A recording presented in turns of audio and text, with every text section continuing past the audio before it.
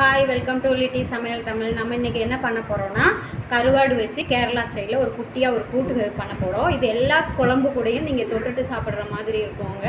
Ten minutes வேலை தான். அதுக்கு தேவையான பொருளெல்லாம் நான் இங்கே வச்சுருக்கேன். தேங்காய் துருவல் பச்சை மிளகா சின்ன வெங்காயம் அப்புறம் இஞ்சி நச்சு வச்சுருக்கேன். கருவாடு நல்லா கழுகி எடுத்து வச்சுருக்கேங்க. கருவேப்பிலை அப்புறம் பச்சை மாங்காய் எடுத்து வச்சுருக்கேன்.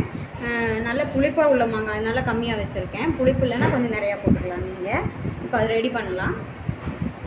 இப்போ நம்ம இந்த எடுத்து வச்சுருக்க தேங்காய் துருவல் பச்சை மிளகாலாம் மிக்சியில் போட்டு ஒரு அடி அடிச்சுக்கிடலாங்க. பச்சை மிளகா அடியில் போட்டிருக்கேன் வெங்காயம் போட்டிருக்கேன்.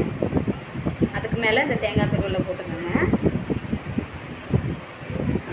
ரொம்ப அரையக்கூடாதுங்க. ஒரு சுத்து ரெண்டு சுத்து சுற்றுனா போதும். ஒன்றுக்கு ரெண்டாக தான் அரையணும். மஞ்சள் தூள் போட்டுக்கோங்க. ஒரு அரை டீஸ்பூன் மஞ்சள் பொடி வச்சுருக்கேன். அப்புறம் தண்ணி கொஞ்சம் நிறைய விட்டிங்கன்னா ரொம்ப அரையாமல் இருக்கும். கம்மியாக விட்டிங்கன்னா சீக்கிரம் அரைஞ்சிடும். தண்ணி இது நம்ம மிக்சியில் போட்டு ஒரு அடி அடித்து எடுத்துக்கலாம். இப்போ அரைச்சி எடுத்தாச்சுங்க இது மாதிரி. இப்போ நம்ம எடுத்து வச்சுருக்க பொருளெல்லாம் இந்த சட்டியில் போட்டுக்கலாம். இஞ்சி கரு கருவாடு கருவேப்பிலையும் போட்டுட்டேங்க இப்போ இந்த அரைச்சி வச்சுருக்க இதை ஊற்றிக்கலாம் கொஞ்சம் தண்ணி சேர்த்துக்கலாங்க வேகிற அளவுக்கு.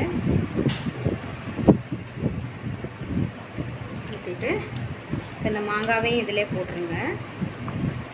போட்டு ஒரு டென் மினிட்ஸ் வேக வச்சிங்கன்னா போதும். அப்புறமா நான் கொஞ்சமாக உப்பு போட்டுக்கிறேங்க. எனக்கு கேட்டால் கருவாடு போட்டிருக்கனால அதுலேருந்து உப்பு இறங்கும். லாஸ்ட்டாக நம்ம பார்த்துட்டு போட்டுக்கலாம். கொஞ்சமாக உப்பு போட்டிருக்கேன். இப்போ நம்ம அடுப்பில் வச்சிடலாம். இப்போ அடுப்பில் வச்சுட்டேங்க. இது நல்லா ஹீட் ஆகிற வரைக்கும் கொஞ்சம் க்ளோஸ் பண்ணி வச்சுக்கலாம் நம்ம.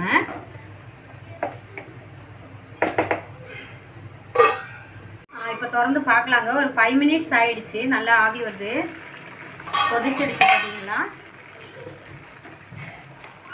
இது ரொம்ப நேரம் வேகவெல்லாம் தேவையில்லைங்க. கொஞ்சம் நேரம் வச்சிங்கன்னாவே போதும்.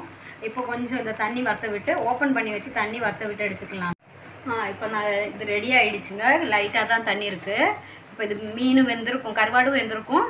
மாங்காவும் இந்த அளவுக்கு வெந்துருச்சு. போதுங்க. இனி நம்ம ஆஃப் பண்ணி வேறு பாத்திரத்துக்கு மாற்றிக்கலாம்